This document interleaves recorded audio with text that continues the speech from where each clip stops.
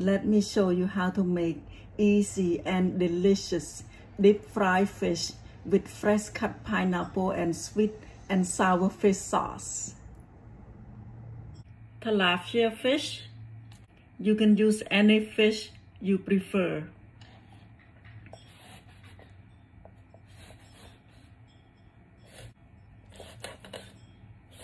I'm going to coat the fish with corn flour.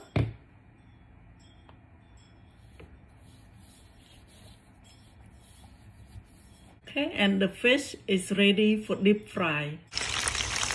Fish is nice and golden. Remove from the cooking oil. Some fresh cut pineapple. A little bit of tomato.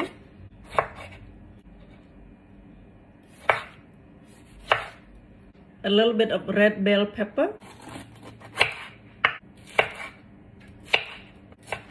A little bit of cucumber. One spring onion, a few of bird's eye chili. In a bowl, I'm going to make the sauce. I'm going to use half cup of the sweet and sour fish sauce that I made on my last video.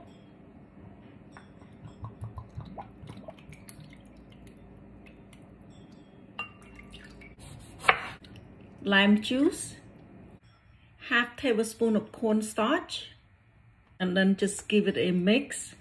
Sweet and sour fish sauce is ready. In a skillet, add sweet and sour fish sauce. Add the vegetable.